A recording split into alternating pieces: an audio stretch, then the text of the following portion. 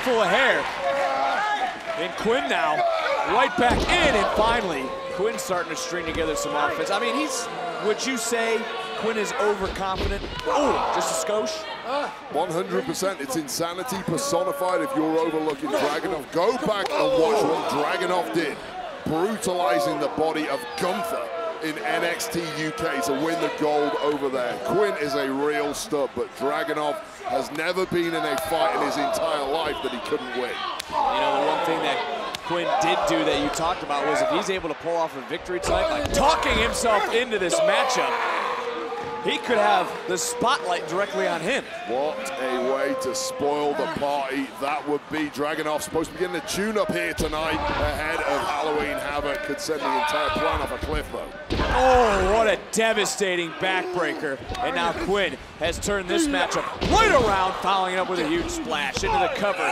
And he smells a chance to get himself in that championship Oh. picture. Oh!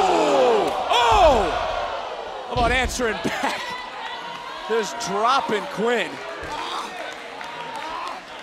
How about that series of strikes? Well, it really is the ability of Dragunov to recover from those kind of strikes that is symbolic of how good he has been in the past in NXT UK and will continue to be Oh! right here in NXT. This is why he's a big danger to Bron Breakker.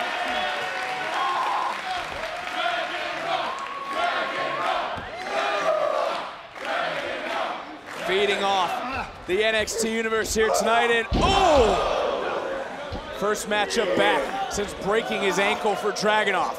Showing no signs of slowing down, no signs of missing a step. Yeah, it's a good job. Any issues, they'd be exploited by the beast that he's in the ring with, Xyon Quinn. Quinn swinging a miss, and now Dragunov.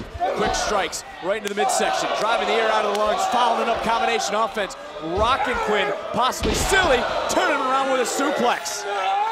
Oh, No. jeez! Just pin him, you've got this one. How the hell is Quinn even moving?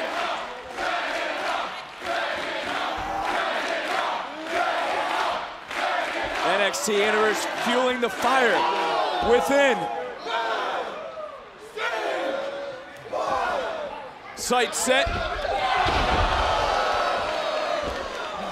Welcome back to NXT.